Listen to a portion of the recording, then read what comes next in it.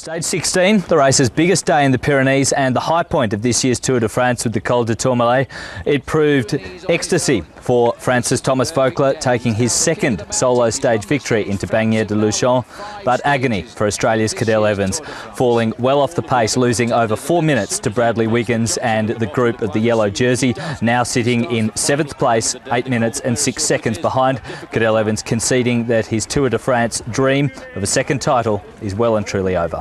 I think I had a few stomach issues just before the race, and um, you know, when you have it two hours before the race, there's not a lot you can do. Um, yeah, I didn't think it would affect me in the race, but obviously um, that's not my not, not my normal level, and it's pretty much Tour de France over for me.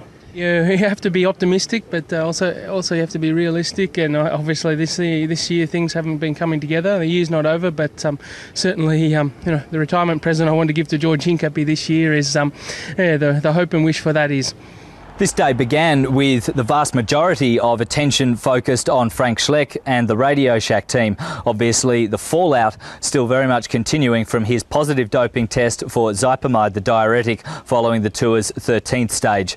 His team spokesman, Philippe Maertens, here explains why they simply had no choice but to send him home, even though he isn't formally suspended.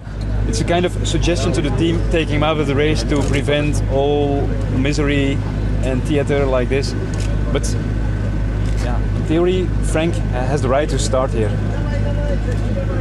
Made, but it made no sense. He has not the legs to do it now, uh, and it would have been every day like this.